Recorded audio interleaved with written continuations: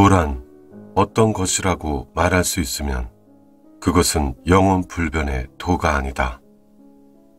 이름이란 무엇이라 이름할 수 있으면 그것은 영원 불변의 이름이 아니다.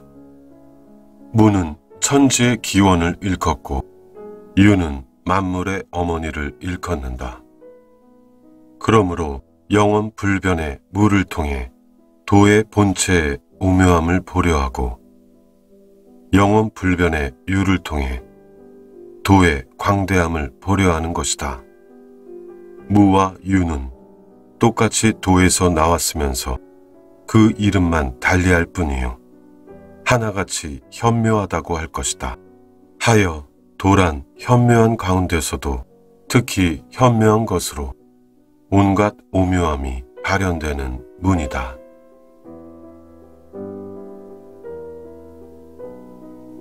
천하가 모두 아름다운 것이 왜 아름다운지를 알면서 비로소 추함에 대한 의식이 생겨났고 천하가 모두 선한 것이 왜 선한지를 알면서 비로소 악함에 대한 의식이 생겨났다. 그러나 있음과 없음은 서로 대립하면서 생성시키고 어려움과 쉬움은 서로 대립하면서 재촉하여 이루어지며 김과 짧음은 서로 대립하면서 드러나고 높음과 낮음은 서로 대립하면서 포옹하며 소리나지 않음과 소리남은 서로 대립하면서 조화를 이루고 앞과 뒤는 서로 대립하면서 서로를 따르나니 이는 영원 불변의 법칙이다. 그러므로 성인은 무의 자연의 태도로 세상사를 처리하고 정치적인 법도와 규칙을 바라지 않는 방법으로 교화를 행하여 만사 만물이 절로 일어나게 할 뿐 결코 사람의 힘으로 비롯하게 하지 않고 만물을 보살펴 자라게 할 뿐 결코 사사로이 소유하지 않으며 만사의 온님을 다할 뿐 결코 자신의 재능에 의지하지 않고 공을 이룰 뿐 결코 공로가 있음을 자부하지 않는다. 바로 그처럼 공이 있음을 자부하지 않기 때문에 그 공로가 오히려 사라지지 않는 것이다.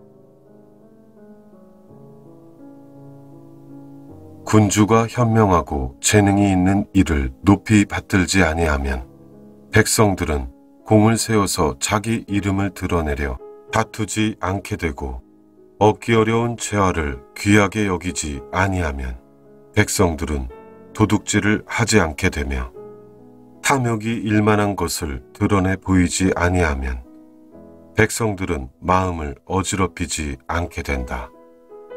그러므로 성인이 나라를 다스릴 때는 백성들의 마음을 정화시키되 그 배를 채워주고 그 의지를 약화시키되 그 뼈대를 튼튼히 해준다. 그렇게 하여 늘 백성들로 하여금 세상의 온갖 명예와 이익에 대해 무지 무욕하게 하고 나아가 스스로 지혜롭다고 여기는 저들로 하여금 감히 경거망동하지 않게 한다. 하여 무의 자연의 원칙으로 만사를 다스리면 다스려지지 않는 것이 없다. 도의 본체는 텅 비어 있지만 그 작용은 무궁무진한 것 같다. 도는 한없이 심원하나니 그런 까닭에 만물의 본원인 것 같고 또 한없이 은은하나니 그러면서도 확실히 존재하는 것 같다. 나는 도가 어디에서 생겨났는지는 모르겠으나 아마도 하느님보다 먼저 있었을 것 같다.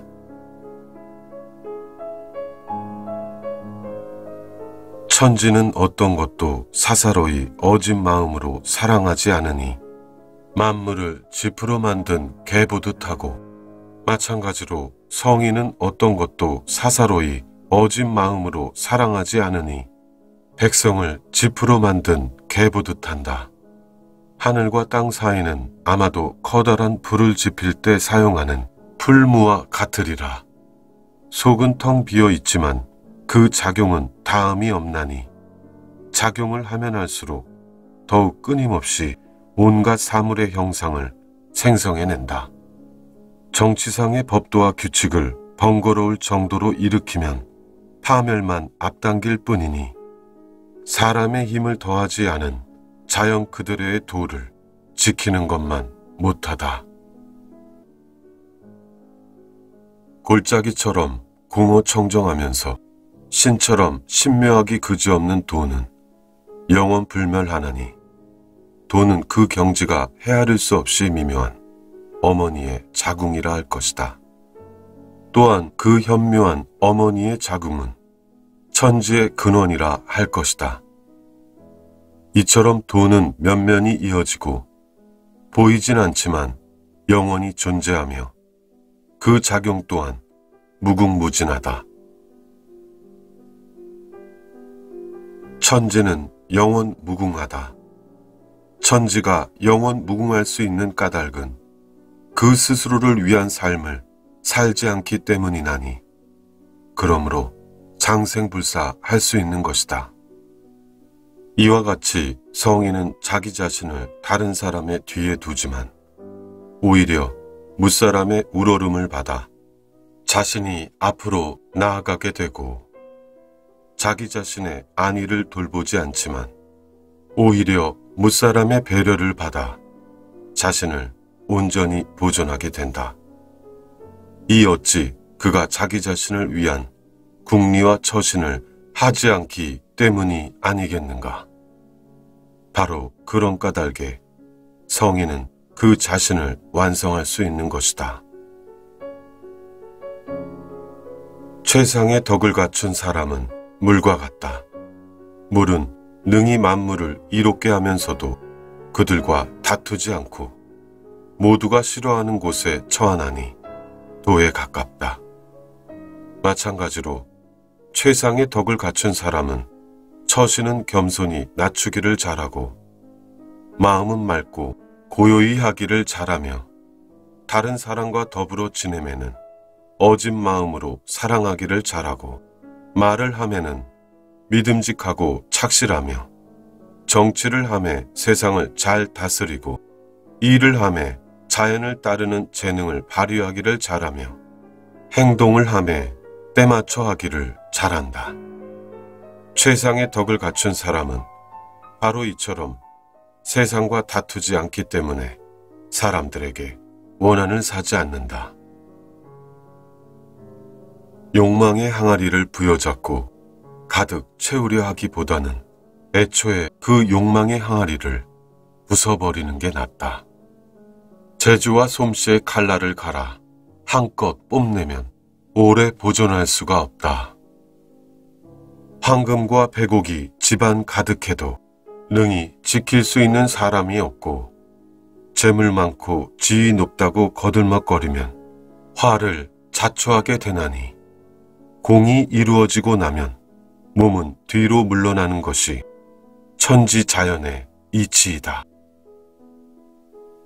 사람이 심신을 잘 다스려 도를 굳게 지키며 능히 도를 떠나지 않을 수 있는가?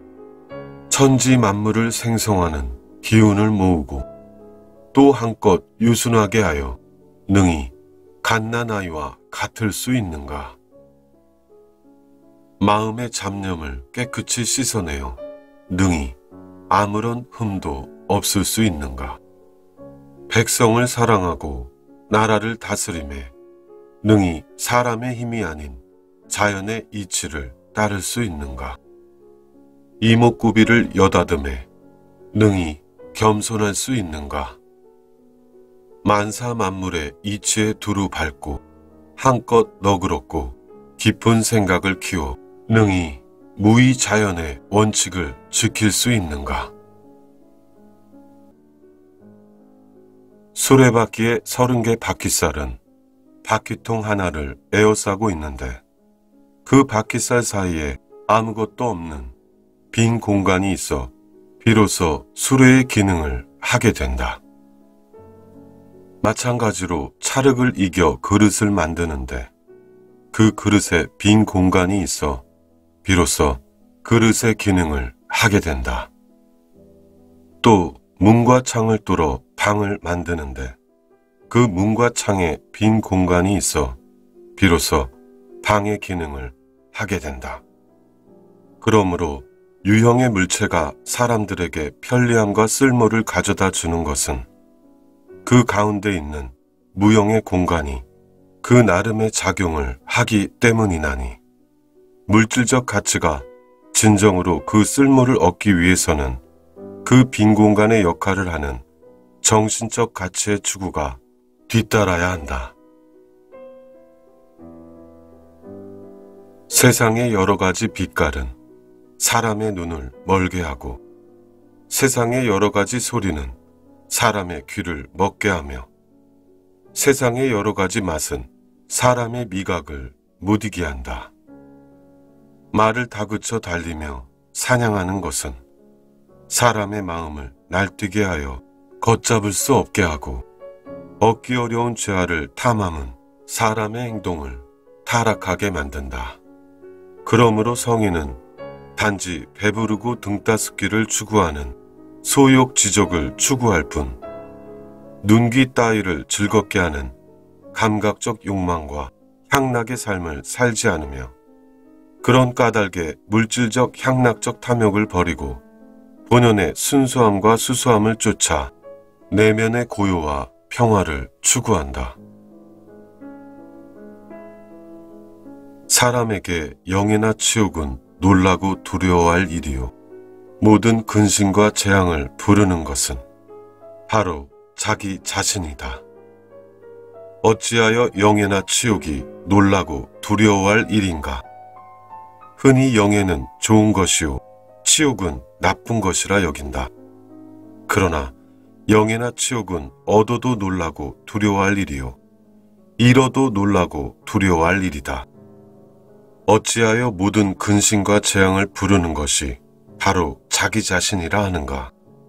우리가 근심과 재앙에 직면하는 까닭은 바로 우리가 자기 자신의 이익만을 돌보기 때문이다.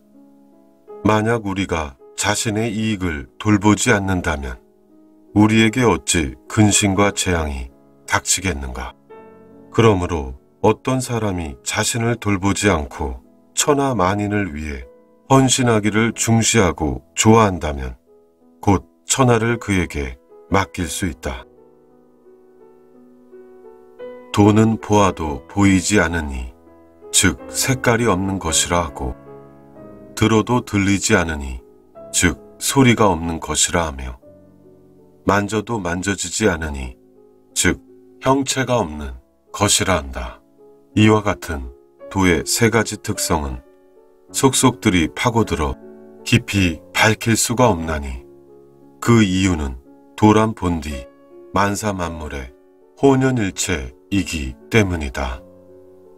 도는 윗부분이라고 하여 밝지도 않고 아랫부분이라고 하여 어둡지도 않으며 한없이 겉으로 드러나지 않고 그 경지가 헤아릴 수 없을 만큼 미묘하여 뭐라고 이룰 수도 없고 그저 다시 어떠한 형상도 없는 실존의 물질로 귀속시킬 따름이다. 요컨대 이미 존재하고 있는 도를 제대로 파악하면 오늘날의 만사 만물을 제어할 수 있고 우주의 근원을 알 수 있나니 이를 도의 원리라고 한다. 도를 체득한 사람은 쉽게 드러나진 않지만 몸가짐과 언행은 겨울철에 얼어붙은 강을 건너듯 하고 경계하기는 사방 이웃나라의 침략을 두려워하듯이 하며 의젓하고 점잖기는 다른 사람의 손님이듯이 하고 욕망을 떨쳐버리기는 봄햇살에 얼음 녹듯이 하며 인정 많고 꾸밈없이 수수하기는 다듬지 않은 통나무 같고 겸허하면서도 활달하기는 깊은 산속의 텅 빈 골짜기 같으며 그 정신은 때론 흐릿하고 어리석기가 혼탁하기 그지없는 강물 같기도 하고 때론 고요하고 편안하기가 한없이 넓고 큰 바다 같으며 대범하고 거침없고 얽매임이 없기가 그 끝이 없는 것 같다.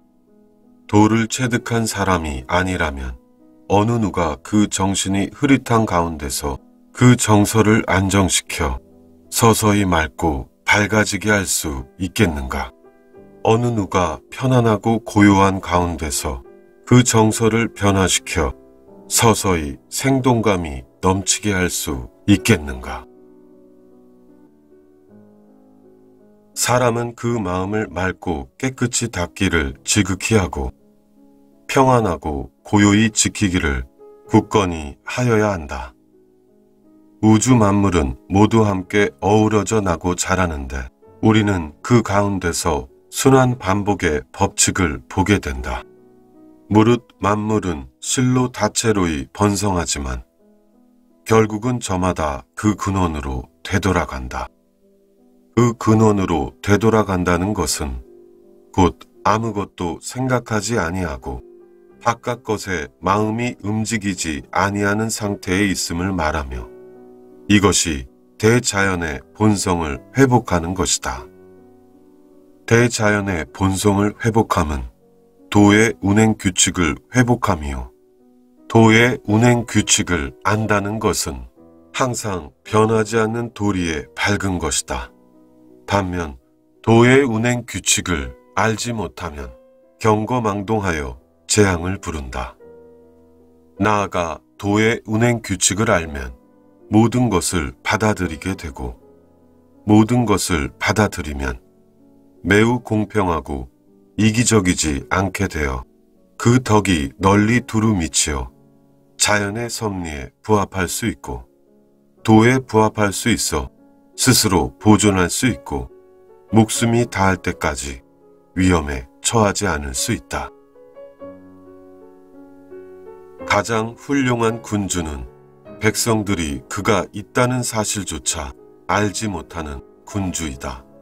그 다음 등급의 군주는 백성들이 그를 친애하고 찬미하는 군주이다.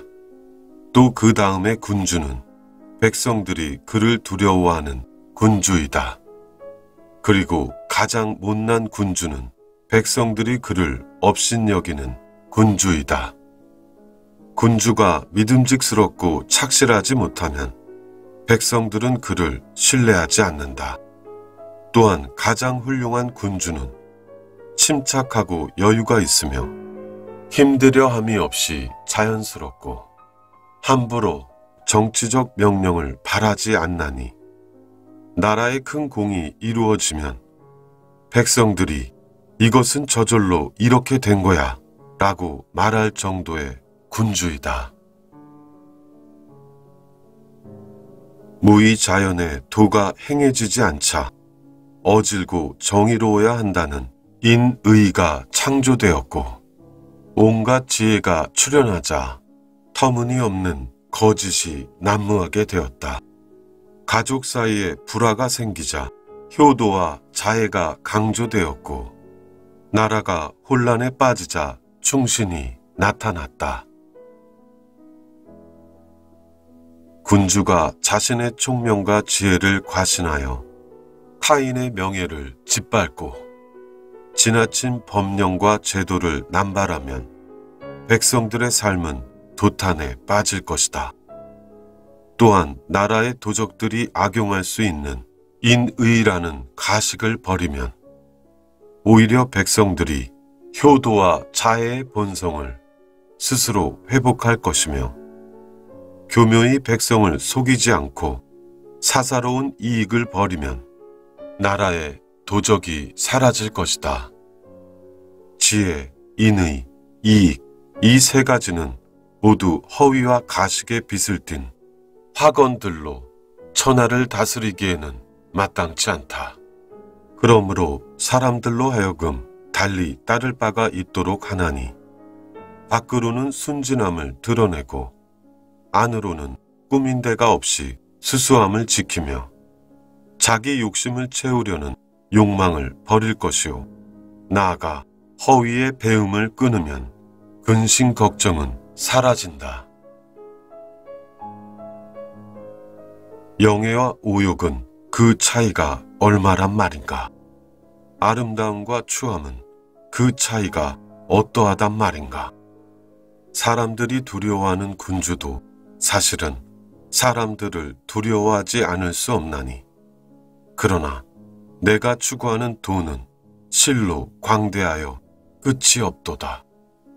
무사람들은 성대한 잔치를 만끽하듯 또 봄날 누대에 올라 조망하듯 희낙낙하거늘 나만 홀로 마냥 욕심 없고 마음이 깨끗하여 세상의 명예와 이익에 무덤덤하고 마냥 무지하여 마치 갓난 아이가 아직 웃을 줄도 모르는 것과 같으며 마냥 의기소침하여 마치 돌아갈 집도 없는 것과 같도다. 무사람들은 모두 재주와 지혜가 넘치거늘 나만 홀로 모자란 것 같다. 내 진정 어리석은 사람의 마음이로다. 세상 사람들은 다 총명한데 나만 홀로 우매하고 세상 사람들은 다 세상 물정에 밝은데 나만 홀로 세상 물정에 어둡다. 무사람들은 모두가 유능하거늘 나만 홀로 우둔하고 비루하다. 이렇듯 나만 유독 다른 사람들과는 달리 우주 만물을 낳아 기르는 도를 소중히 여길 뿐이구나. 큰 덕의 모든 표현은 오직 도에 따를 뿐이다. 도는 있는 듯도 하고 또 없는 듯도 하여 진정 황홀하다.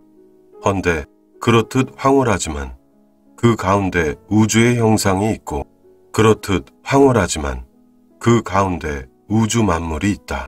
또한 그처럼 깊디 깊어 헤아리기 어렵지만 그 가운데 만물의 정기가 있고 그 정기는 또 한껏 진실하여 그 가운데 믿음직스럽고 착실하게 증험할 수 있는 근거가 있다. 지금으로부터 먼 옛날로 거슬러 올라가 보면 그 이름도 없던 돈은 한시도 사라지지 않고 언제나 존재해 왔나니 도를 통해 만물의 시원을 알 수 있도다. 나는 어떻게 만물의 시원의 상황을 알 수 있겠는가? 바로 이 같은 도의 원리를 통해서이다. 자신을 굽히면 스스로를 보존할 수 있고 구부리면 곧게 펼 수 있으며 움푹 들어가면 가득 채울 수 있고 낡으면 새로워질 수 있으며 적으면 얻을 수 있지만 많으면 미혹하게 된다. 그러므로 성인은 도를 굳게 지키며 천하 만사의 준칙으로 삼는다. 그렇게 하여 스스로 드러내지 않으므로 오히려 자신이 더욱 두드러지고 스스로 옳다고 여기지 않으므로 오히려 옳고 그름이 더욱 뚜렷하며 스스로 자랑하지 않으므로 오히려 그 공로가 더욱 빛나고 스스로 잘난 체 하지 않으므로 오히려 그 존엄이 더욱 오래간다. 성인은 바로 이처럼 남과 다투지 않기 때문에 천하의 어느 누구도 그와 다툴 수가 없다. 이른바 자신을 굽히면 스스로를 보존할 수 있다고 하는 옛말이 어찌 근거 없는 말이겠는가. 진실로 그 말을 마음 깊이 간직하고 기필코 그 길로 되돌아가야 할 것이다. 함부로 정치상의 법도와 규칙을 바라지 않는 것이야말로 진정 자연의 섭리에 부합하는 것이다. 무릇 광풍은 아침 내내 불지 않고 폭우는 하루 종일 내리지 않는다. 누가 그렇게 하는 것인가? 바로 천지다. 천지에 미쳐 날뛰도 오히려 오래가지 못하거늘 하물며 사람의 포악함이야 말에 무엇하겠는가. 그러므로 도를 본받는 이는 도에 동화되고 덕을 본받는 이는 덕에 동화되며 부도와 부덕을 쫓는 이는 부도와 부덕함에 동화된다. 도에 동화되는 이는 도 역시 즐거이 그와 함께하고 덕에 동화되는 이는 덕 역시 즐거이 그와 함께한다. 이러한 이치로 군주가 도의 이치에 맞지 않으면 백성은 그를 따르지 않는다. 까치발을 딛고선 이는 제대로 서 있을 수가 없고 지나치게 큰 걸음으로 걷는 이는 제대로 걸어갈 수가 없다. 이러한 이치로 스스로 드러내는 이는 오히려 두드러지지 않고 스스로 옳다고 여기는 이는 옳고 그름이 분명치 않으며 스스로 자랑하는 이는 그 공로가 바래고 스스로 잘난 체 하는 이는 그 존엄이 오래가지 않는다. 이와 같은 행동들은 대도의 관점에서 보면 곧 남이 먹다 남은 음식이요 몸에 난 혹이니 사람들은 대개 그런 것들을 혐오한다. 그러므로 도를 체득한 사람은 결코 그렇게 하지 않는다. 차별이나 구별 없이 이루어진 혼돈의 것이 있는데 그것은 하늘과 땅보다도 먼저 생겨났다. 그것은 아무 소리도 없고 형체도 없으며 만물을 초월해 홀로 우뚝 서서 영원 불변하고 널리 두루 순환 반복 운행하며 그침이 없나니 진정 천지 만물의 어머니라 할 것이다. 나는 그 이름을 알지 못하므로 억지로 그것을 일러 도라하고 또 억지로 그것을 형용하여 한없이 크고 넓다고 하노라. 한없이 크고 넓으니 가고 가며 운행에 그침이 없고 운행에 그침이 없으니 멀리 멀리 이르지 않는 곳이 없으며 이르지 않는 곳이 없으니 돌고 돌아 본원으로 되돌아온다. 그러므로 돈은 위대하다. 그리고 하늘도 위대하고 땅도 위대하며 사람 또한 위대하다. 우주에는 네 가지 위대한 것이 있으며 사람이 그 중 한 가지를 차지하고 있는 것이다. 사람은 땅을 본받고 땅은 하늘을 본받으며 하늘은 도를 본받고 도는 모든 것을 저절로 그러함에 맡긴다. 무거움은 가벼움의 근본이요. 고요함은 조급함의 조종자이다. 그러므로 군자는 온종일 길을 가면서도 입을 옷과 먹을 양식, 쓸 물건을 실은 짐수레를 결코 떠나지 않는다. 또한 비록 화려한 궁궐에 있어도 한가로이 거처하며 초연하여 부와 명예를 추구하지 않는다.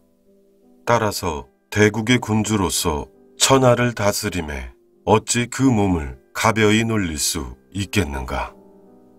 군주는 경솔하게 행동하면 신하를 잃을 것이요. 분별 없이 정신이 흐릿하여 말과 행동이 이치에서 벗어나면 백성을 잃을 것이다. 길을 잘 가는 사람은 자취를 남기지 않고 말을 잘하는 사람은 과실을 범하지 않으며 셈을 잘하는 사람은 도구를 쓰지 않는다. 그러므로 성인은 항상 사람들을 잘 교화해 그 재능을 다하게 함으로 버려지는 사람이 없고 항상 물건을 잘 다루어 그 쓰임을 다하게 함으로 버려지는 물건이 없으니 이를 일러 대도에 순응하는 것이라고 한다. 선한 사람은 선하지 않은 사람의 스승이요. 선하지 않은 사람은 선한 사람의 거울이다. 만약 선하지 않은 사람이 그 스승을 존중하지 않고 선한 사람이 그 거울을 아끼지 않는다면 비록 스스로 지혜롭다고 할지라도 사실은 한없이 어리석은 것이다. 이 같은 이치를 일러 지극히 현묘하다고 한다. 모름지기 사람은 남성의 굳셈을 잘 알고 기꺼이 여성의 부드러움을 견지하며 천하의 텅빔, 겸손, 포용이 되어야 한다. 이러한 천하의 텅빔, 겸손, 포용을 통찰하면 영원 불변의 지극한 덕이 떨어져 나가지 아니하여 갓난아이처럼 순진하고 자연한 상태로 되돌아가게 된다.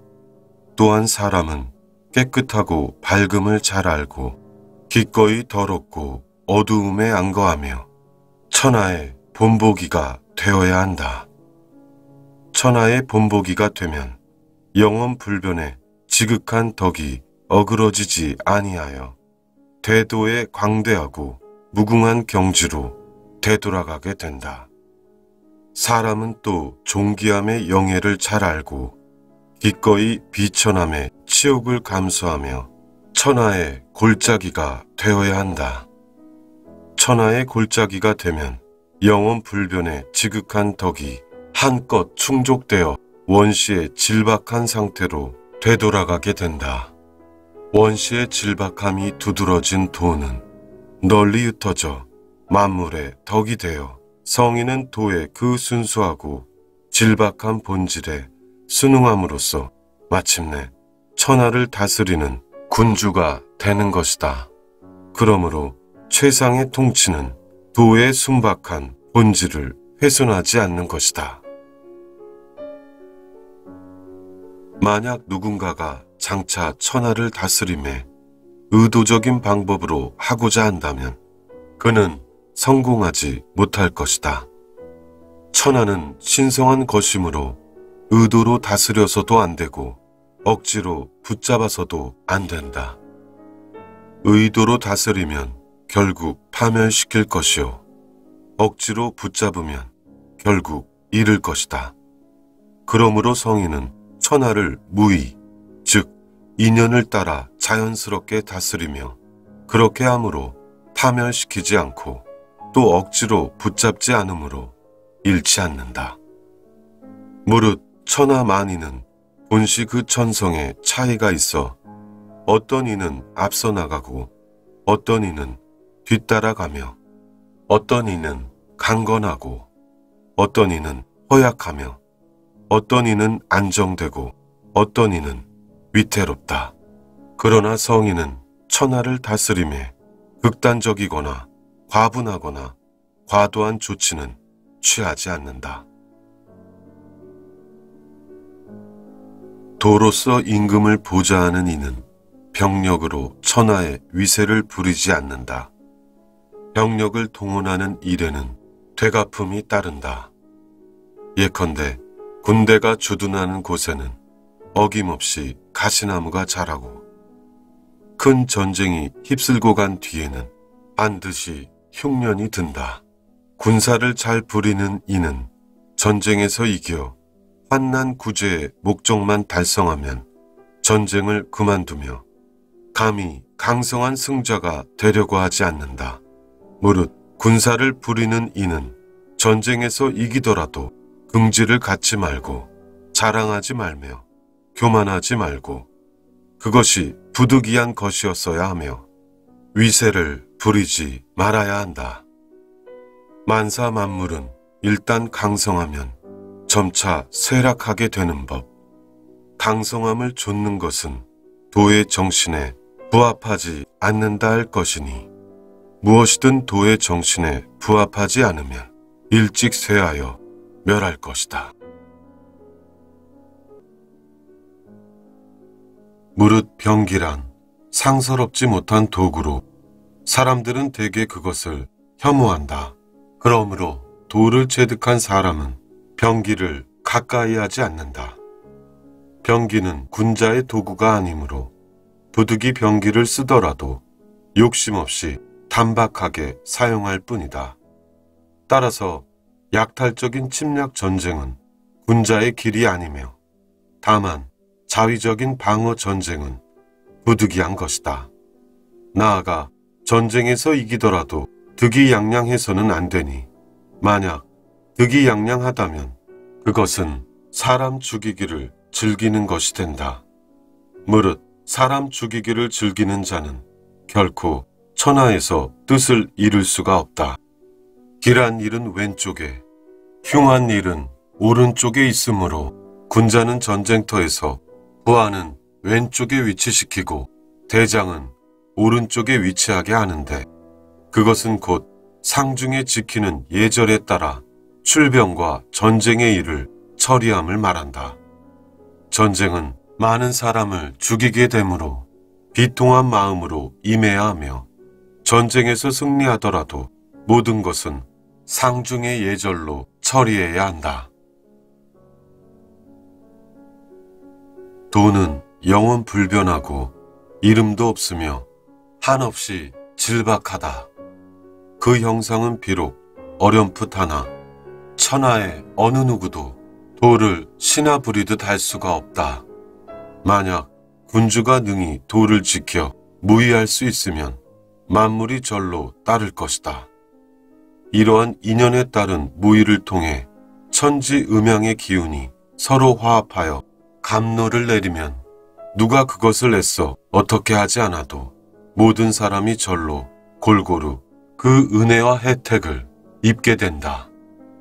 애초에 만물이 비로소 생성되면서 각기 이름이 붙여지게 되었는데 그 이름으로 인해 명분이 더해지고 위상이 달라지며 가치가 매겨져 이러한 인위적인 이름이 인간 세상의 온갖 분란과 쟁탈의 원인이 된다. 따라서 군자는 도를 굳게 지키며 갈등의 원인이 되는 이름과 사람들이 다투는 도구인 지혜를 초월해야 한다. 비유하자면 마치 냇물과 골짜기의 물의 귀착점이 강과 바다인 것처럼 천하 만물의 귀이처는 도인 것이다. 다른 사람을 아는 사람은 평범한 사람이지만 자기 자신을 아는 사람은 군자다. 다른 사람을 이기는 사람은 강한 사람이지만 자기 자신을 이기는 사람은 더 강한 사람이다. 따라서 군자는 만족할 줄 알고 부지런히 도를 행하여 근본을 잃지 않으므로 그 덕이 길고 오래가며 죽어서도 그 도와 덕이 영원하다. 대도는 그야말로 널리 행해져 상하 좌우 이르지 않는 곳이 없다.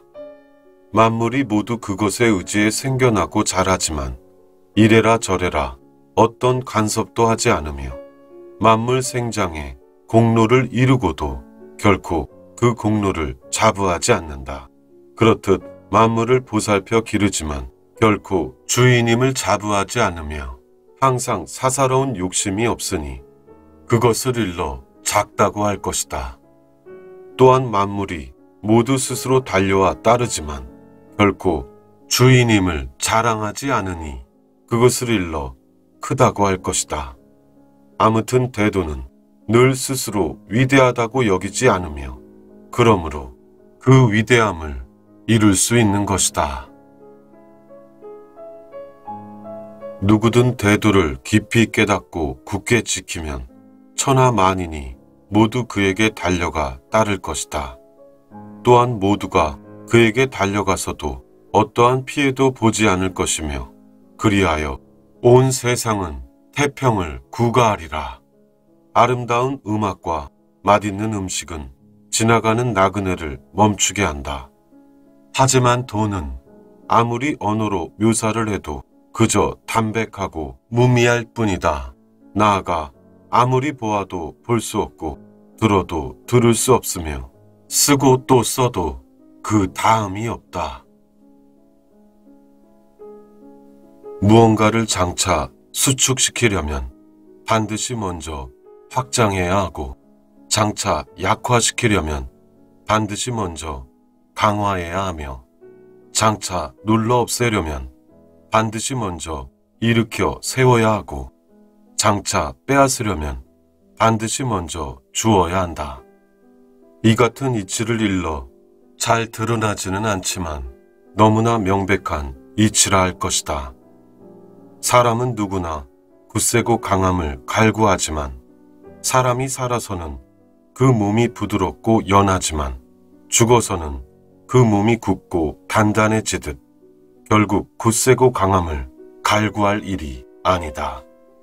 부드럽고 약한 물이 물고기를 살리듯 군주는 권력을 함부로 휘둘러서는 안 되며 부드럽고 약해 보이는 무의, 즉 인연을 따라 자연의 상태로 백성을 살려야 한다. 돈은 영원 불변하고 오직 우주 만물의 자연적 변화와 발전에 순응하지만 세상의 어느 것 하나 이루어내지 못하는 것이 없다.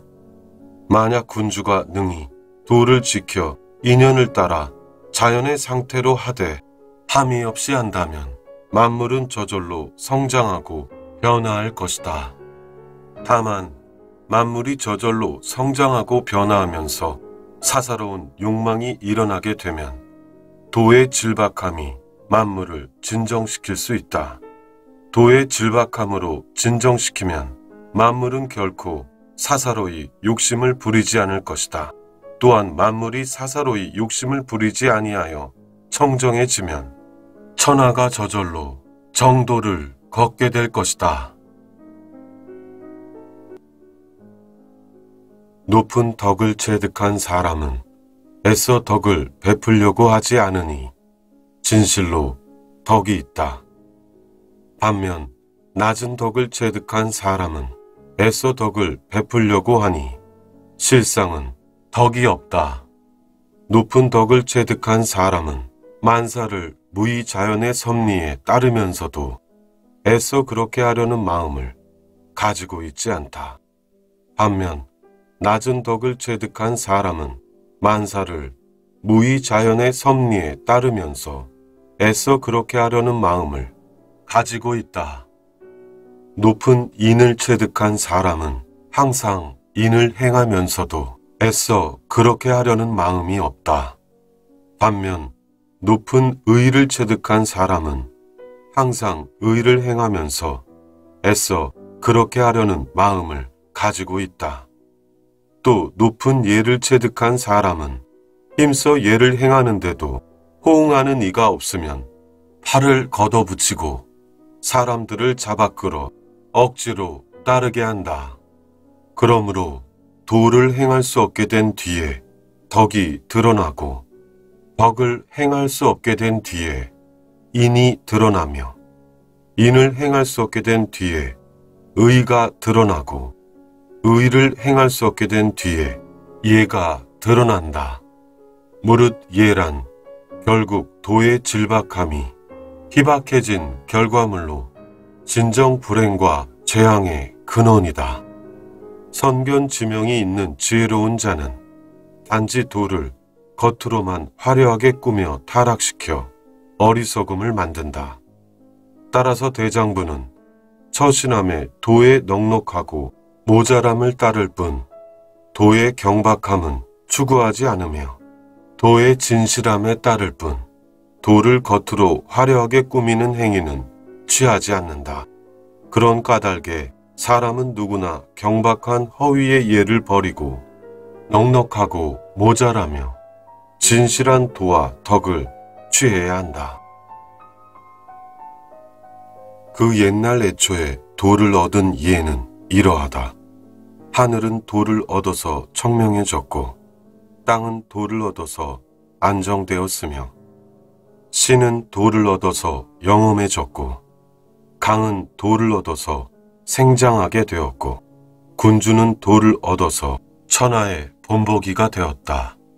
이로부터 추측하건대 만약 하늘이 청명해지지 못했다면 아마도 장차 갈라져 버릴 것이고 땅이 안정되지 못했다면 아마도 허물어져 버릴 것이며 신이 영험해지지 못했다면 아마도 사라져 버릴 것이고 강이 물로 가득 차지 못했다면 아마도 완전히 말라버릴 것이고 만물이 생장하지 못했다면 아마도 한 가지도 살아남지 못할 것이고 군주가 천하의 본보기가 되지 못했다면 아마도 몰락하고 말 것이다.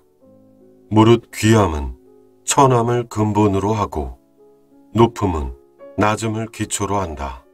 그러므로 군주는 스스로를 일컫기를 고독하고 덕이 없는 사람이라는 뜻의 고나 덕이 부족한 사람이라는 뜻의 과 혹은 선하지 못한 사람이라는 뜻의 불고기라 하니 이었지 천함을 근본으로 한 것이 아니겠는가.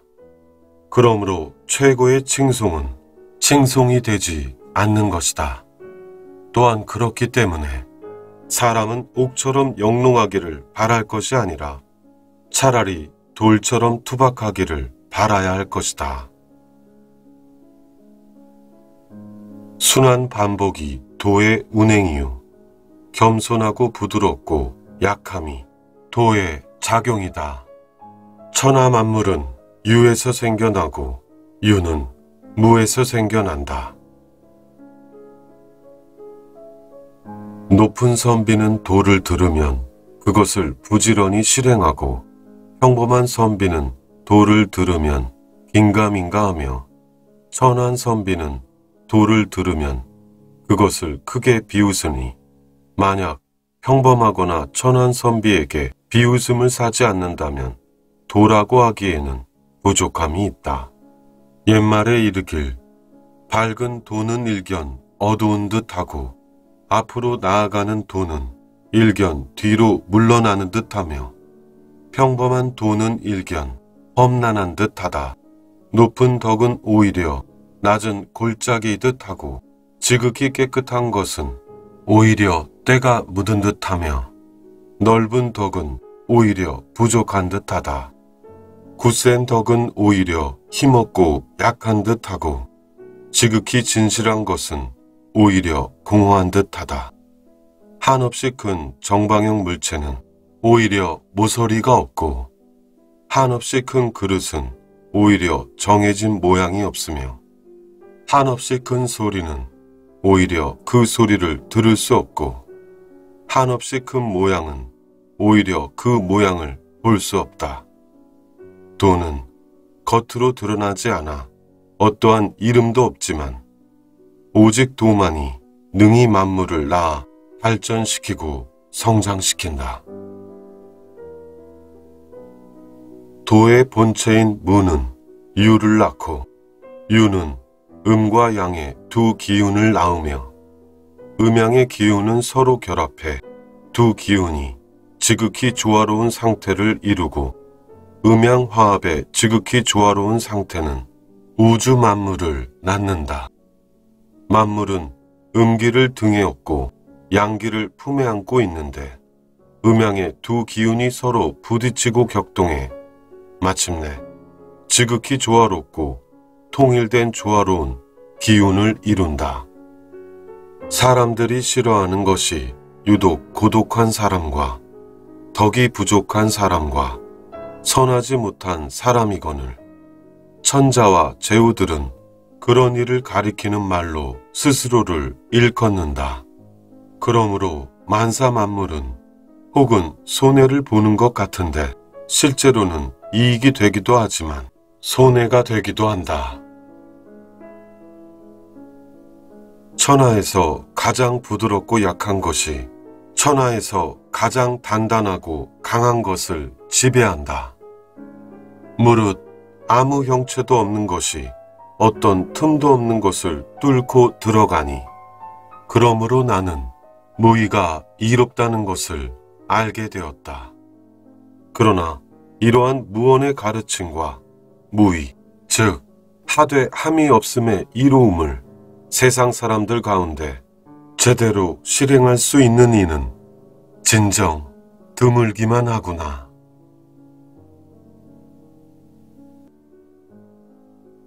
명예와 목숨 가운데 어느 것이 더 중요한가? 재물과 목숨 가운데 어느 것이 더 소중한가? 명예와 이익을 얻는 것과 목숨을 잃는 것 가운데 어느 것이 더 해로운가? 명예를 지나치게 좋아하면 반드시 그 대가를 치를 것이요.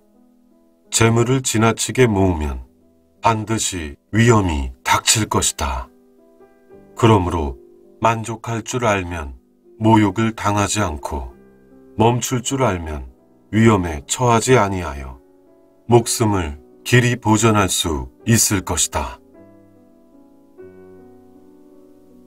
완전한 갖춤은 언뜻 결함이 있는 듯 하지만 그 작용은 결코 끝이 없다. 더없이 충만한 것은 언뜻 공허한 듯 하지만 그 작용은 결코 다함이 없다. 더없이 고든 것은 언뜻 굽은 듯 하고 더없이 정교한 것은 언뜻 졸렬한 듯 하며 더없이 언변이 뛰어난 것은 언뜻 어눌한 듯 하다. 무릇 조급히 움직여 열이 나면 한기를 이기고 고요히 멈춰 있으면 그 열기를 이기게 되니 결국 맑게 욕심을 버리고 무의, 즉 고요히 인연을 따라 자연스레 행하면 천하의 우두머리가 될 수 있다. 천하의 대도가 행해지면 전쟁에서 쓰는 말은 되돌려 보내 밭을 갈게 된다. 그러나 천하의 대도가 행해지지 않으면 전쟁에서 쓰는 말은 나라의 경계가 되는 전쟁터에서 새끼를 낳는다. 결국 사람이 탐욕스러운 것보다 더 큰 죄악이 없고 만족할 줄 모르는 것보다 더 큰 재앙이 없으며 욕심을 끝없이 부리는 것보다 더 큰 허물이 없다. 그러므로 만족할 줄 알므로써 만족을 얻으면 항상 만족하게 된다. 도를 깨달으면 대문 밖을 나서지 않고도 천하의 이치를 알고 창문 밖을 내다보지 않고도 하늘의 이치를 안다. 사람이 밖으로 멀리 나가면 나갈수록 그가 아는 것은 더욱 적어진다. 그러므로 성인은 밖을 나다니지 않고도 천하의 이치를 알고 밖을 내다보지 않고도 하늘의 이치에 밝으며 일부러 어떻게 하지 않고도 일을 이루어낸다. 학문을 탐구하면 지식과 욕망이 날로 많아지고 도를 닦고 행하면 지식과 욕망이 날로 적어진다. 그렇게 지식과 욕망이 적어지고 또 적어지면 마침내 무의의 경지에 이르게 되어 인연 따라 자연스레 행하면 오히려 이루지 못할 일이 없다. 그러므로 천하를 다스림에 있어서는 마땅히 무의의 정치를 해야 하며 만약 유의, 즉 의도로 행하는 정치를 한다면 천하를 제대로 다스리지 못할 것이다. 성인은 항상 사심없이 백성의 마음을 자신의 마음으로 여긴다. 성인은 선한 사람을 선하게 대하지만 선하지 않은 사람도 선하게 대하는데 그리하여 모든 사람을 모두 선하게 할 수 있다. 성인은 신의가 있는 사람을 신의로 대하지만 신의가 없는 사람도 신의로 대하는데 그리하여 모든 사람을 모두 신이 있게 할 수 있다. 성인은 천하 만인을 대함에 겸손하게 양보하여 예의를 지켜 정중하게 대우하고 천하 만인을 위해 그 마음을 한껏 순박하고 인정 많게 한다. 그리하여 백성들이 모두 그 이목을 집중하면 성인은 그들을 모두 갓난아이처럼 순수하고 무욕하게 감화한다.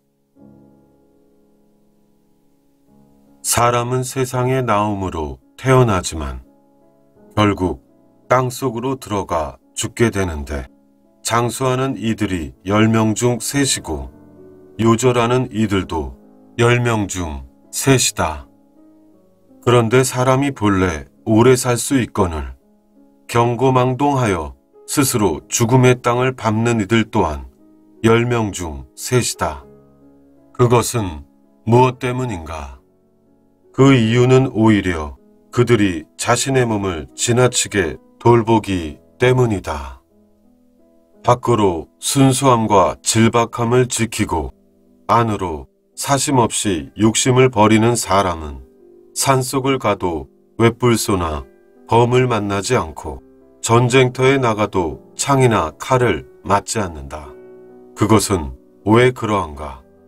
밖으로 순수함과 질박함을 지키고 안으로 사심 없이 욕심을 버리는 사람은 결코 스스로를 죽을 지경에 빠뜨리지 않기 때문이다.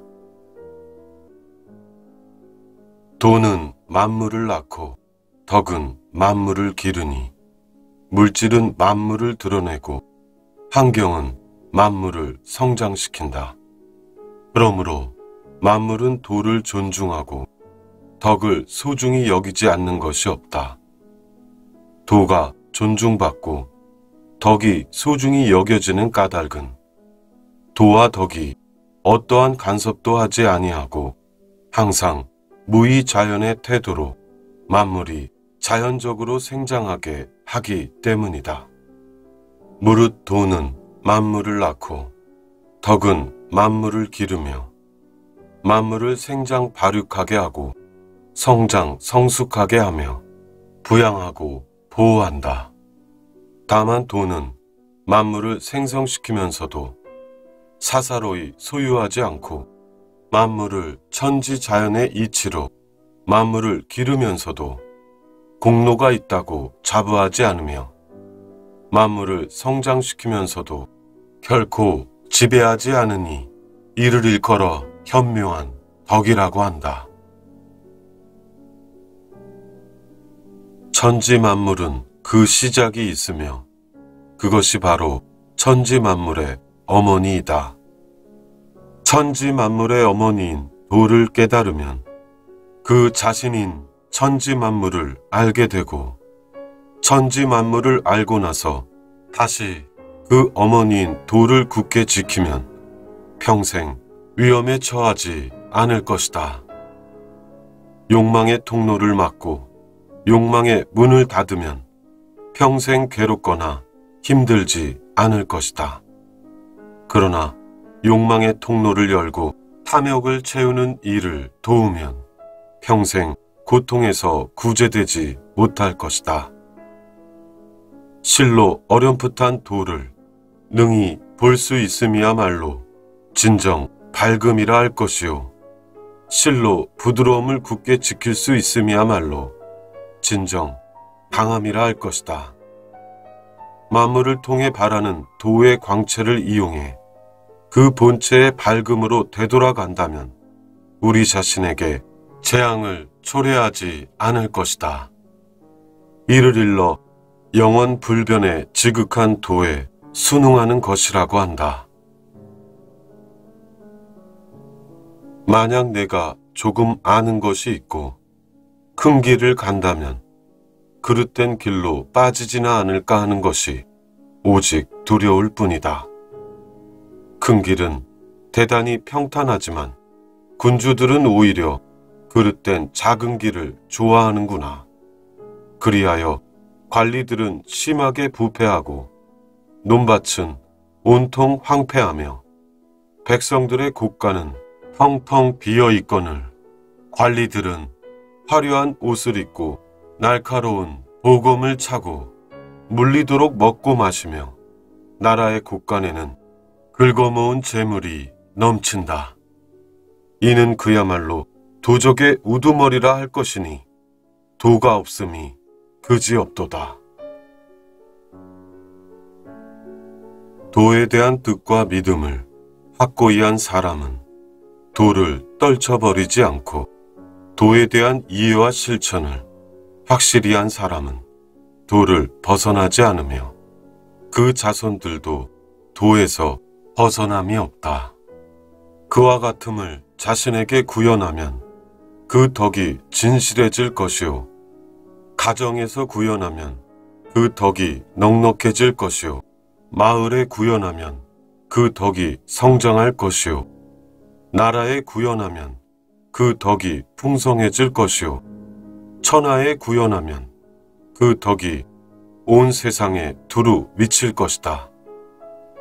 그러므로 심신이 절로 갈고 닦임을 기준으로 사람을 보고 집안이 절로 가지런해짐을 기준으로 가정을 보며 마을이 절로 다스려짐을 기준으로 마을을 보고 나라가 절로 부강해짐을 기준으로 나라를 보며 천하가 절로 태평해짐을 기준으로 천하를 보는 것이다. 내가 어떻게 천하의 실상을 알겠는가? 바로 이 같은 방법에 따르는 것이다. 온순하고 인정 많은 덕을 갖춘 사람은 갓난아이에 비유된다. 갓난아이는 독중도 쏘지 않고 맹수도 덮치지 않는다. 또 뼈대는 약하고 근육은 부드럽지만 주먹은 단단히도 쥐며 아직 남녀 교합의 일을 알지 못하지만 작은 생식기가 절로 발기하니 그것은 정기가 충만하기 때문이다. 온종일 울어도 목이 쉬지 않는데 그것은 생기가 충만하기 때문이다. 그러한 생기의 이치를 아는 것이 대도운행에 변하지 않는 규칙이요. 대도운행에 변하지 않는 규칙을 아는 것이 높은 도에 밝은 것이다. 반면 음탕하고 사치하며 건강관리를 지나치게 하는 것은 상서롭지 못한 것이요. 욕망이 정기를 지배하는 것은 사나운 것이다. 만사 만물은 일단 강성하면 점차 쇠락하게 되는 법.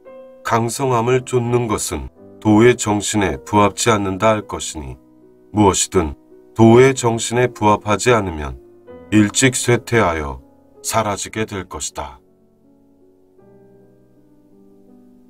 진실로 아는 사람은 말하지 않고 말하는 사람은 알지 못한다. 그러므로 진실로 도를 체득한 이는 욕망의 통로를 막고 욕망의 문을 닫으며 창과 칼끝을 꺾어 분란을 해소하며 빛을 감추고 티끌 속에 섞여드니 이를 일러 현묘히 하나됨이라 한다.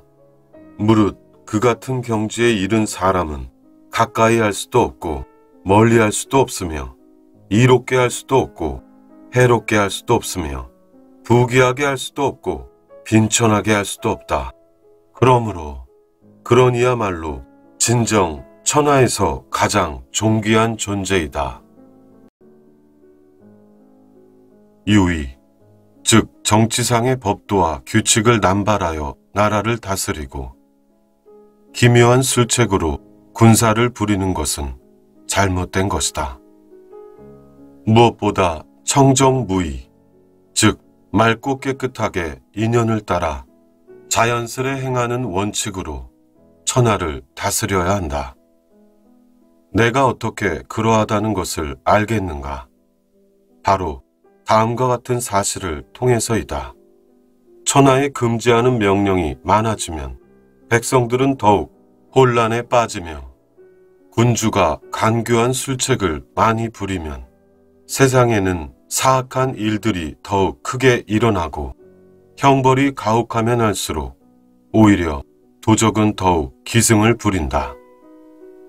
그러므로 성인이 이르길 군주가 무의, 즉 인연을 따라 자연스레 행함으로 백성들은 절로 천지자연의 이치로 만물을 만들어 기르고 군주가 청정함을 좋아하면 백성들이 절로 바른 길을 가게 되며 군주가 성가시게 하지 않으면 백성들이 절로 부유해지고 군주가 욕심이 없으면 백성들이 절로 순박해진다.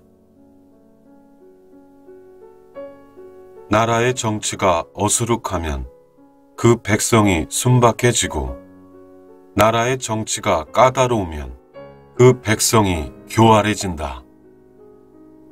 복은 화가 숨어 있는 것이요. 화는 복이 기대어 있는 것이다.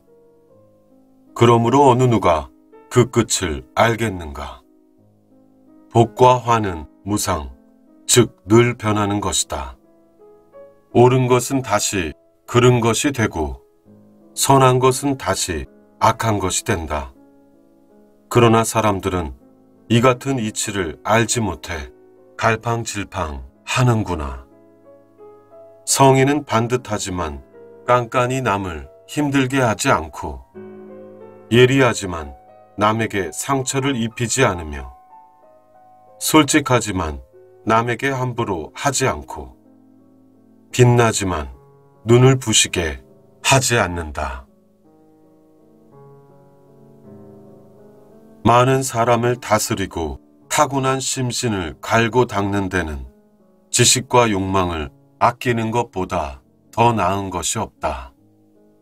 군주가 바로 이처럼 지식과 욕망을 아끼면 보다 일찍 도를 좇을 수 있다. 보다 일찍 도를 좇는다는 것은 보다니 덕, 즉 공정하고 남을 넓게 이해하고 받아들이는 마음이나 행동을 쌓음을 말한다. 부단히 덕을 쌓으면 능히 해내지 못할 것이 없다. 능히 해내지 못할 것이 없으면 그 능력의 끝을 알 수 없다. 그 능력의 끝을 알 수 없으면 나라를 차지할 수 있다. 이처럼 나라를 차지해 다스림을 무의자연의 도로서 하면 오래도록 그 나라를 지킬 수 있다. 이를 일러 뿌리를 깊이 뻗고 단단히 내려 길이 길이 사는 이치라 할 것이다. 큰 나라를 다스리는 것은 작은 생선을 굽듯이 해야 한다. 한편 군주가 무의 자연의 도로서 천하를 다스리면 귀신도 해코지하지 못한다. 그리하여 귀신과 사람, 성인과 백성이 어우러져 마침내 그 덕이 만백성에게 돌아가 태평성대를 누리게 된다. 큰 나라는 강물이 아래로 흐르듯 몸을 낮추고 고요하여 부드러운 모성처럼 천하 만인이 모여드는 곳이 되어야 한다.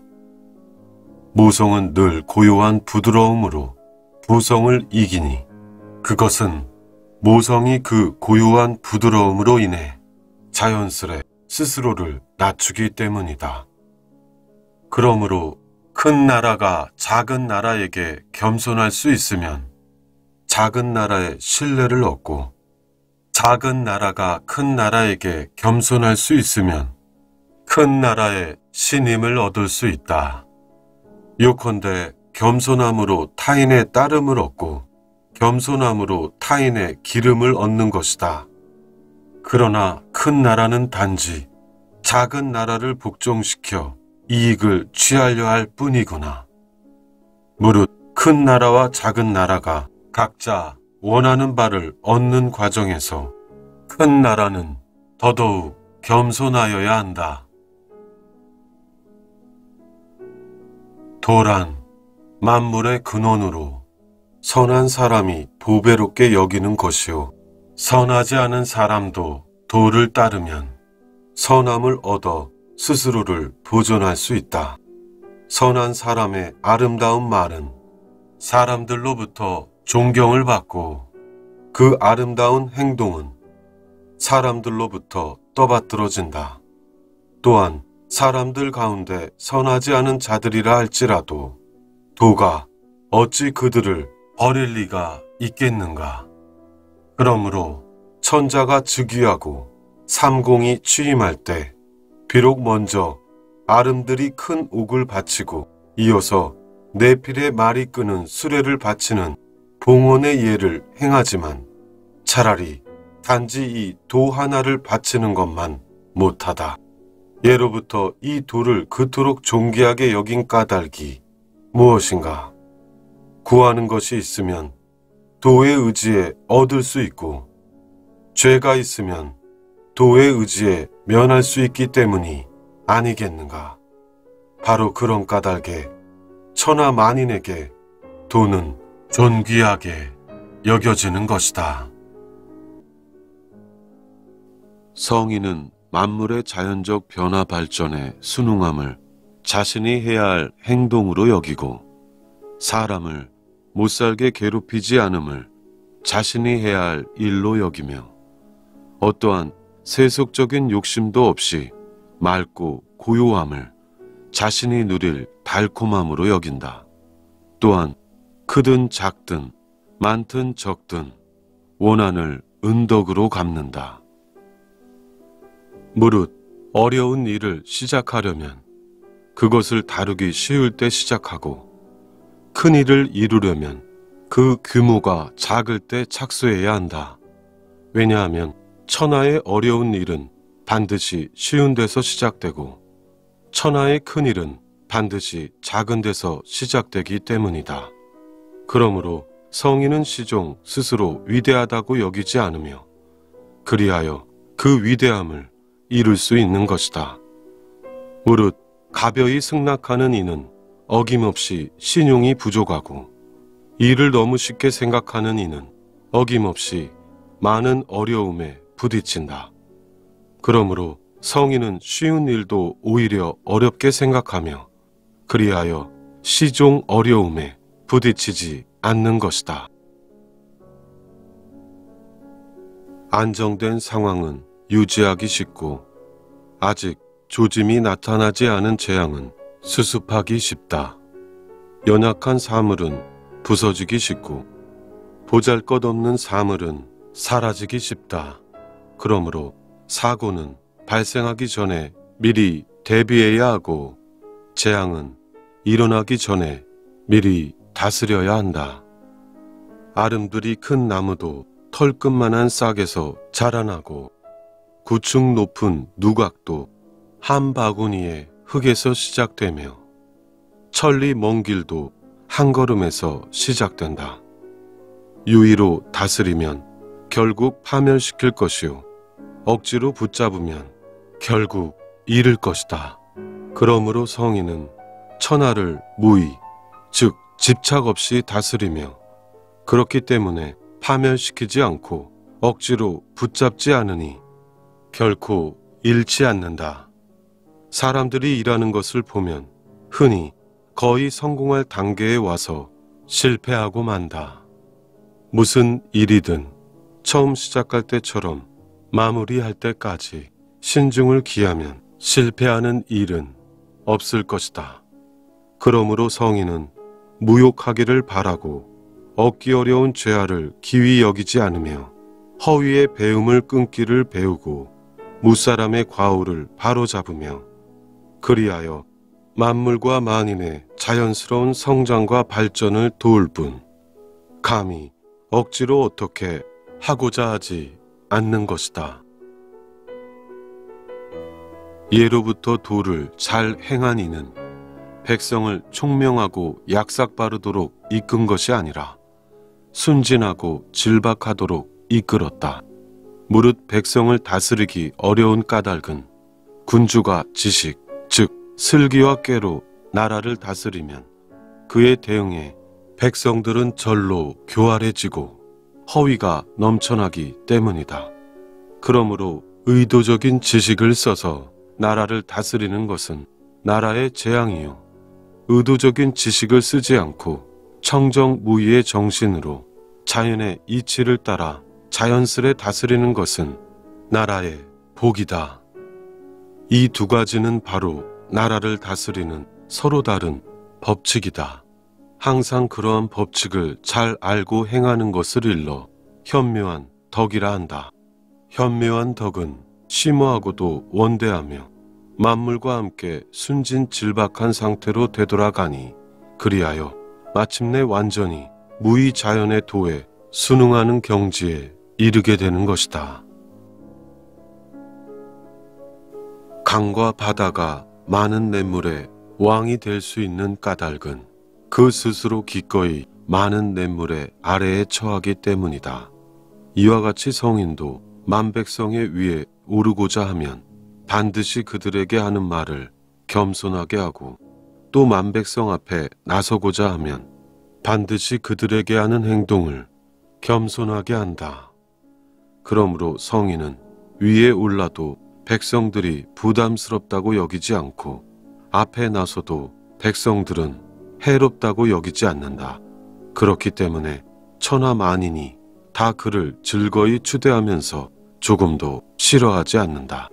이처럼 그는 다른 사람과 다투지 않기 때문에 천하의 어느 누구도 그와 다툴 수 없는 것이다. 천하 만인이 이르기를 내가 말하는 도가 위대하지만 한편으론 그렇지도 않은 것 같다고 말한다. 사실 참으로 위대하기 때문에 오히려 위대하지 않은 것 같은 것이다. 만약 항상 위대한 것 같았다면 오히려 보잘 것 없는 작은 도가 된 지 이미 오래되었으리라. 나에게는 세 가지 보배가 있으며 나는 그것을 잘 지키며 보존하고 있는데 첫째는 남을 사랑하고 가엽게 여기는 자애요. 둘째는 절약이요. 셋째는 감히 천하 만인 앞에 나서지 않는 것이다. 무릇 자애로움으로 할 일 앞에서 용감할 수 있고 절약함으로 영토를 넓힐 수 있으며 감히 천하 만인 앞에 나서지 않으므로 오히려 천하 만물의 우두머리가 될 수 있다. 그러나 만약 자유롭지 못하면서도 용맹만 부리려고 하고 절약하지도 못하면서 영토만 넓히려 하며 대중 뒤에 있지도 못하면서 마냥 앞으로 나서려고만 한다면 오직 파멸과 죽음만이 기다리고 있을 것이다.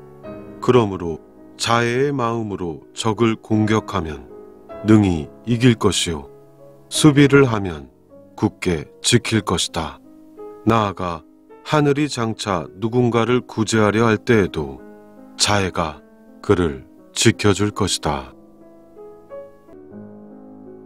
장수 노릇을 잘하는 이는 용맹을 부리지 않고 싸움을 잘하는 이는 성내지 않으며 적을 이기기를 잘하는 이는 적과 맞서 싸우지 않고 사람 부리기를 잘하는 이는 한껏 겸손히 자신을 낮춘다. 이를 일러 남과 다투지 않는 덕이라 하고 또 이를 일러 사람을 부리는 힘이라 하니 이 모두를 일러 도에 부합하는 최고의 행동이라 할 것이다. 군사를 잘 부리는 이는 이같이 말한다. 나는 감히 능동적으로 다른 나라를 침공하기보다는 수동적으로 다른 나라의 침공에 응전하고 감히 한치를 나아가 치기보다는 한자를 물러나 지킨다. 이는 군사의 진영을 갖추었는데도 진영을 갖추지 않은 것 같고 팔을 걷어 붙였는데도 팔을 걷어 붙이지 않는 것 같으며 병기를 들었는데도 병기를 들지 않은 것 같고 적을 마주하고 있는데도 적을 마주하고 있지 않은 것 같도다. 무릇 적을 얕보는 것보다 더 큰 재난은 없으니 적을 얕보면 곧 자신의 귀중한 생명을 잃게 될 것이다. 그러므로 군사를 일으켜 서로 맞설 때 백중지세이면 슬프고 분한 쪽이 이긴다. 내 말을 이해하기도 무척 쉽고 실행하기도 무척 쉽다. 그러나 세상에 아무도 제대로 이해하지 못하고 제대로 실행하지도 못하는구나. 무릇 말에는 그 본원이 있고 일에는 그 근거가 있다. 사람들은 바로 그러한 것을 알지 못하기 때문에 나를 이해하지 못하는 것이다. 나를 이해하는 이가 드물다는 것은 곧 내가 고귀하다는 것이다. 그러므로 성인은 몸에는 거친 배옷을 걸치고 있으면서 가슴에는 고귀한 보물을 품고 있도다. 알면서도 모른다고 여기는 것은 최상이지만 모르면서도 안다고 여기는 것은 큰 병이다. 성인이 큰 병이 없는 것은 이를 병으로 여기기 때문이다. 바로 그처럼 모르면서 안다고 여기는 것을 병으로 여기기 때문에 성인은 알면서도 모른다고 여기고 모르는 것은 모른다고 말하는 것이다. 성인은 단지 자기 자신을 알고자 할 뿐 스스로를 드러내지 않으며 단지 자기 자신을 사랑할 뿐 스스로 탐욕을 채우려 하지 않는다. 한편 군주는 백성들의 거처를 불안케 하지 말고 백성들의 살 길을 어렵게 하지 말아야 한다. 오직 군주는 백성을 못살게 굴지 않아야만 백성들이 군주를 따르게 된다. 오직 굳세고 강하게 하는 데 전력을 다하면 죽을 것이고 부드럽고 약하게 하는 데 전력을 다하면 살 것이다. 이 두 가지 가운데 하나는 이롭고 하나는 해롭다. 굳세게 강하게 하는데 전력을 다하면 하늘도 그를 따르지 않을 것이다. 하늘의 도는 다투지도 않으면서 잘도 이기고 말하지도 않으면서 잘도 응답하며 부르지도 않으면서 만물을 저절로 달려오게 하고 느릿느릿 하면서도 만물을 위해 잘도 도모한다. 진정 하늘의 그물은 넓고도 커서 그 어떤 것도 빠뜨리지 않는다. 잔인한 통치자는 말할 것이다. 백성들은 늘 죽음을 두려워하므로 만약 사악한 짓을 하는 자를 내가 잡아다 죽이면 어느 누가 감히 또 그런 짓을 하겠는가. 그러나 세상에는 항상 만물의 생사를 주관하는 하늘의 도가 있어 사람의 생을 마감하게 하는 것이다. 헌데 사람이 하늘의 도를 대신해 사람을 죽인다면 그것은 뛰어난 목수를 대신해 나무를 깎는 것과 같은 것이다. 뛰어난 목수를 대신해 나무를 깎는 이는 그 손을 다치지 않는 경우가 거의 없을 것이다. 백성이 굶주리는 것은 통치자가 집어삼키는 조세가 너무 많기 때문이다. 백성을 다스리기 어려운 것은 통치자가 유의의 정치를 하기 때문이다. 백성이 죽음을 가벼이 여기는 것은 통치자가 자신의 욕심만을 채우려 하기 때문이다. 무릇 오래 살기 위해 자신의 육신의 건강을 지나치게 관리하지 않으며 마음의 건강을 살피는 자가 오히려 마음의 건강을 전혀 살피지 않으며 오직 자신의 육신의 건강만을 지나치게 관리하며 삶의 향락에 몰두하는 자보다 더 나은 것이다. 사람은 살아서는 그 몸이 부드럽고 연하지만 죽어서는 그 몸이 굳고 단단하다. 초목 또한 살아서는 부드럽고 여리지만 죽어서는 마르고 뻣뻣하다. 그러므로 굳세고 강한 것은 죽음으로 가는 길이요. 부드럽고 약한 것은 삶으로 가는 길이다. 또한 그렇기 때문에 군대가 지나치게 굳세고 강하면 패멸하고 나무가 지나치게 강하면 부러진다. 무릇 굳세고 강하면 하강의 형세에 놓이고 부드럽고 약하면 상승의 형세에 놓이는 법이다. 하늘의 도가 어찌 활의 시위를 얻는 것과 같지 않겠는가? 시위의 위치가 높으면 낮추고 낮으면 높인다. 또 시위의 당김이 넘치면 줄이고 모자라면 보탠다. 이렇듯 하늘의 도는 넘치는 것을 덜어서 모자라는 것에 보탠다. 반면 인간 세상은 그렇지 아니하여 모자라는 이의 것을 덜어서 넘치는 이에게 바치는구나. 어느 누가 자신의 넘치는 것을 천하에 모자라는 이에게 바칠 수 있겠는가?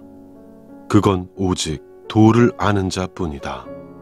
그러므로 성인은 만사에 온 힘을 다할 뿐 결코 자신의 능력을 과시하지 않으며 공로를 이룰 뿐 공로가 있음을 자부하지 않는 것이다. 세상에 물보다 약한 것은 없다. 하지만 굳세고 강한 것을 쳐서 무너뜨리는 데에 물을 능가할 수 있는 것은 아무것도 없다. 무릇 부드러움이 굳셈을 이기고 약함이 강함을 이긴다는 것을 세상 사람들은 왜 모르는가? 성인이 이르길 능히 참기 힘든 치욕을 감수한다면 그를 일러 일국의 군주라 할 것이요 능히 온 나라의 재난을 감당한다면 그를 일러 천하의 군왕이라 할 것이다. 그러나 이러한 바른 말도 세속의 현실에는 반하는 것 같구나. 깊고 큰 원한은 어떻게 풀고 화해를 해도 반드시 앙금이 남게 마련이다. 그러나 원한을 은덕으로 갚는다면 앙금은 사라질 수 있다. 그러므로 성인은 재물을 빌려준 증서를 가지고만 있을 뿐 빚진 사람에게 빚독촉을 하지 않는다. 그러므로 덕을 갖춘 사람은 재물을 빌려준 증서를 가지고만 있는 이와 같은 관용을 실천하고 덕이 없는 사람은 조세를 걷어들이는 관리처럼 가혹하다.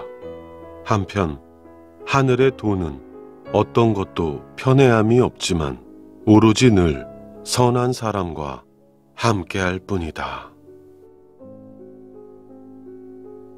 탐욕과 성냄과 어리석음으로 투쟁에 미쳐 날뛰는 세상에서 진정으로 우리가 돌아가야 할 귀처인 나라는 그 규모가 작아야 하고 백성은 적어야 한다.